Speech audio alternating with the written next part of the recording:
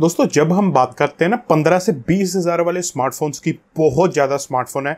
सब्ज़ी वाले के पास इतनी सब्ज़ियाँ नहीं है जितने आजकल स्मार्टफ़ोन अवेलेबल है। ऐसा ही एक स्मार्टफ़ोन है मोटो वन पावर और अगर आपको सच बताऊँ ना, ये एक अंडर स्मार्टफ़ोन है। ये एक ऐसा इंसान कह रहा है जिसने नोकिया का 5.1 plus 6.1 plus Zenfone Max Pro Redmi Note 5 Pro Realme 2 Pro सभी स्मार्टफ़ोन जो इस बजट में आते हैं ना ऑनर एटेक्स सबका रिव्यू किया है, सबका चैनल पे वीडियो डाला है। मुझे लगता है कि मोटो वन पावर को ना बहुत सारे लोगों ने इग्नोर किया, बहुत सारे लोगों ने इस, ये एक अंडर स्मार्टफ़ोन है। ऐसा मुझे क्यों लगता है? क्या इस स्मार्टफ़ोन में खासियत है? क्या ये बिल्कुल ही बेकार हैंडसेट है? सब कुछ इस वीडियो में बताऊँगा फुल रिव्यू करूँगा इस मोटो वन पावर का। एक छोटी सी आपसे रिक्वेस्ट है प्लीज़ आप इस वीडियो को पूरा देखने की कोशिश करिएगा। मैं आपके लिए चीज़ें बहुत आसान बना दूँगा। मैं हूँ साहिब, आप अपना खुद का यूट्यूब चैनल टेक टू देख रहे हो। चलिए फिर शुरू करते हैं।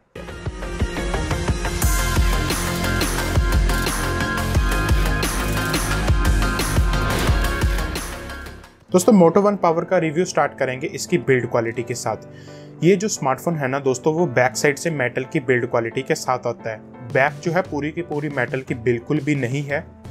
इसके जो ऊपर और नीचे वाले पार्ट्स हैं, वो डेफिनेटली प्लास्टिक के हैं। जो इसके बटन्स की टेक्टाइल फील है, वो मुझे ठीक लगी। ओवरऑल अगर मैं बात करूँ ना, क्योंकि इसमें 5000 हज़ार मिलियम पेयर की बैटरी आती है तो डेफिनेटली ये जो स्मार्टफ़ोन है थोड़ा सा हैवी लगता है थोड़ा सा थिक लगता है बट ऐसा नहीं कि ये सबसे अलग ही लगता है कि बहुत हैवी है। वेट डिस्ट्रीब्यूशन काफ़ी अच्छे तरीके से किया गया है। हाँ आपको थोड़ा सा हैवियर साइड पर लगेगा बट देन अगेन काफ़ी प्रैक्टिकल रीज़न के लिए ये हैवी स्मार्टफ़ोन है। नॉर्मली जो आईफोन्स का वेट होता है, उसके अकॉर्डिंग ही इसका वेट है, और ओवरऑल जो इसकी बिल्ड क्वालिटी है ना, काफ़ी सॉलिड है, काफ़ी प्रीमियम है और कॉर्निंग गोरिल्ला ग्लास थ्री के प्रोटेक्शन फ्रंट साइड के ऊपर यूज़ की गई है। हालाँकि इसकी बिल्ड क्वालिटी तो अच्छी है बट जो इसकी लुक और डिज़ाइन है ना, वो इतना स्ट्रांग नहीं है, क्योंकि बैक पर इसका वर्टिकल ओरिएंटेशन में कैमरा दिया गया जो कि आपको पता ही है कि स्मार्टफ़ोन की तरह लगता है। ओवरऑल अगर मैं बिल्ड क्वालिटी में बात करूँ तो इसे 10 में से 8.5 नंबर में लेंगे। दोस्तों, अब बात करते हैं इसकी डिस्प्ले क्वालिटी की। मोटो वन पावर जो स्मार्टफ़ोन है, ये 6.2 इंच के फुल एचडी प्लस पैनल के साथ आता है। ये एक आईपीएस एलसीडी पैनल है और जैसा कि मैंने आपको बताया, इसमें आपको कॉर्निंग गोरिल्ला ग्लास थ्री की प्रोडक्शन है। तो सही से बोलूँ ना यार, अगर मैं चीज़ों को कॉम्प्लिकेट ना करूँ तो ये जो डिस्प्ले बहुत ही बढ़िया डिस्प्ले है। कलर्स बहुत अच्छे हैं ब्राइट डिस्प्ले है व्यूइंग एंगल्स बहुत अच्छे हैं। अगर आप सनलाइट में यूज़ करोगे तो काफ़ी ब्राइट है, कोई भी दिक्कत नहीं आएगी। ओवरऑल एक बहुत ही कमाल की शार्प डिस्प्ले है। अगर आप अपने फ़ोन में गेमिंग करना चाहते हो, अगर आप अपने फ़ोन में यूट्यूब वीडियोस देखना चाहते हो, अगर आप बहुत सारी मूवीज़ वगैरह देखते हो तो ये डिस्प्ले आपको कभी भी डिसअपॉइंट नहीं करेगी क्योंकि क्वालिटी ओवरऑल इसकी बहुत अच्छी है। हालाँकि मेरी इस डिस्प्ले के साथ प्रॉब्लम ये है कि इसकी जो नॉच आती है, वो काफ़ी बड़ी है क्योंकि काफ़ी सारी स्क्रीन को घेर लेती है, मुझे वो चीज़ बिल्कुल भी पसंद नहीं आती। और दोस्तों डिस्प्ले क्वालिटी में इसकी रेटिंग रहेगी नौ दस में से। उसके बाद दोस्तों, अगर मैं बात करूँ ना स्मार्टफ़ोन की परफॉर्मेंस की तो ये स्मार्टफ़ोन पावर किया गया है स्नैपड्रैगन के 636 प्रोसेसर के साथ, जो कि एक अच्छा प्रोसेसर है, जिसमें एड्रीनो का 509 जीपीयू लगा हुआ है। ये स्मार्टफ़ोन सिंगल वेरिएंट में आता है, चार जी बी रैम चौंसठ जी बी इंटरनल स्टोरेज साथ में आपको dedicated micro S D card slot मिल जाता है एक्सपेंशन के लिए। तो यहाँ पर तो मोटो ने काफ़ी बढ़िया काम किया अगर मैं दोस्तों इसकी गेमिंग परफॉर्मेंस से स्टार्ट करूँ ना तो मैं यहाँ पर यही कोट करूँगा कि ओवरऑल जो इसकी गेमिंग परफॉर्मेंस है, वो काफ़ी अच्छी है। एक मिड रेंज फ़ोन के हिसाब से ये काफ़ी अच्छा परफॉर्म कर लेता है। एसफाल्ट एट में काफ़ी अच्छा परफॉर्म करता है। एसफाल्ट नाइन में मॉडर्न कॉम्बैट फाइव में भी इसने बहुत ही अच्छा परफॉर्म किया। तो ओवरऑल इसकी गेमिंग जो परफॉर्मेंस है, वो मेरे तरफ़ से थम्स अप है। बट यहाँ पर एक चीज़ मैं यहाँ ऐड करना चाहूँगा, वो ये है कि इसके पबजी में इतना बढ़िया ऑप्टिमाइज नहीं किया गया क्योंकि ये स्मार्टफ़ोन अपना फुल पोटेंशियल नहीं दिखा रहा है। मैंने बहुत सारे स्मार्टफ़ोन यूज़ किए हैं, जिनमें स्नैपड्रैगन का 636 प्रोसेसर है। उसके अकॉर्डिंग इसकी परफॉर्मेंस गेमिंग में थोड़ी बेहतर होनी चाहिए थी बट वो सॉफ्टवेयर के साथ डेफिनेटली इंप्रूव की जा सकती है। दोस्तों, जब मैं बात करता हूँ ना, यहाँ पर यूज़र इंटरफेस की, सबसे अच्छी बात इस स्मार्टफ़ोन की ये है, ये एंड्रॉयड वन स्मार्टफ़ोन है। तो आपको स्टॉक एंड्रॉयड देखने को मिलता है। और जब आपको स्टॉक एंड्रॉयड देखने को मिलता है, आपको पता है एनिमेशन बहुत ज़्यादा स्मूथ है। ओवरऑल एक्सपीरियंस आपका बहुत ही अच्छा रहता है, कोई ब्लॉटवेयर नहीं है। रैम मैनेजमेंट इसका काफ़ी अच्छा है। तो यूज़र इंटरफेस में जो आपका एक्सपीरियंस है ना, वो काफ़ी अच्छा मिलेगा। आपको पूरा का पूरा स्टॉक एंडेड मिलेगा। सिर्फ़ मोटो के एक दो ऐप्स हैं और आपको जो कैमरा यूआई इसका मिलता है, उसमें थोड़े से डिफरेंस देखने को मिलेगा। ओवरऑल अगर मैं परफॉर्मेंस के डिपार्टमेंट में रेटिंग की बात करूँ ना तो फिर से 8.5 नंबर मिलेंगे 10 में से। दोस्तों, उसके बाद ना सबसे इंपॉर्टेंट पॉइंट की बात करते हैं, जो कि बहुत ही कॉन्ट्राडिक्टिंग पॉइंट है, वो है इसका कैमरा अच्छे से बात करते हैं इसके बारे में। बहुत सारे लोगों ने ये बोल दिया कि मोटो वन पावर का कैमरा बेकार है। बहुत सारे लोग ये बोल रहे हैं कि हमने इसे इसलिए नहीं रिव्यू किया क्योंकि इसका कैमरा बेकार है। आपको अगर मैं सही से बताऊँ ना, जो आपको रेयर की साइड सोलह प्लस पाँच मेगा का कैमरा मिलता है एफ़ वन के अपर्चर के साथ वो एक्चुअली एक अच्छा कैमरा है। जब मैंने इसे यूज़ करना स्टार्ट किया ना तो यार मैंने पहली बार तो देख के मुझे ऐसा लगा कि इसकी जो इमेज क्वालिटी है ना डे लाइट में भी, वो इतनी अच्छी नहीं है। बट मैंने नोटिस किया कि इसकी जो इमेज ऑप्टिमाइजेशन है ना, जो इसकी इमेज आती है, वो काफ़ी ज़्यादा नेचुरल आती है।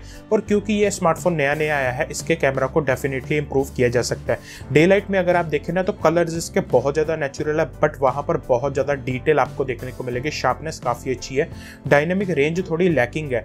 कोई भी स्मार्टफ़ोन जैसे जेनफोन मैक्स प्रो नया नया आया था तो उसका कैमरा काफ़ी एवरेज था, फिर अपडेट के साथ इंप्रूव हो गया था। अगर मोटो इंप्रूव कर पाता है तो बहुत अच्छी बात होगी।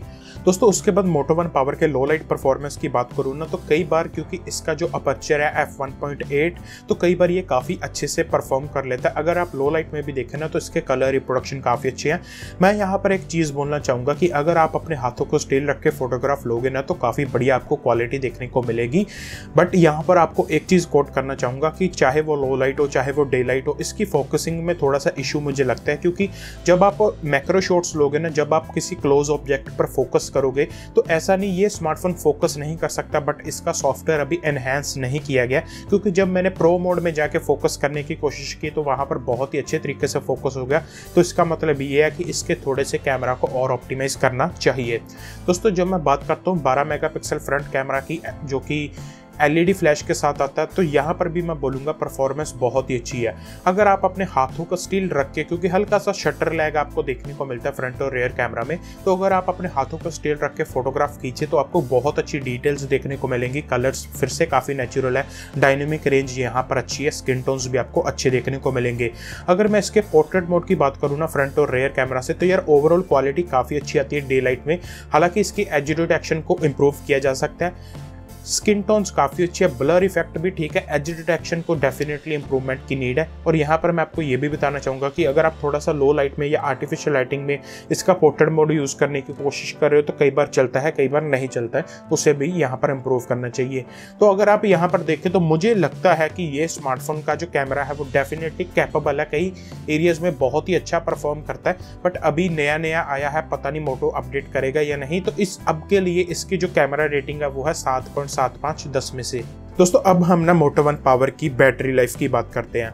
दोस्तों, अगर आपको मैं बताऊँ कि एक स्मार्टफ़ोन में आपको पाँच हज़ार मिलियम पेयर की बैटरी मिलेगी, जो कि आपको आठ से 12 घंटे का स्क्रीन ऑन टाइम प्रोवाइड करेगी। डिपेंड करेगा कि आप अपने फ़ोन को कैसे यूज़ करोगे।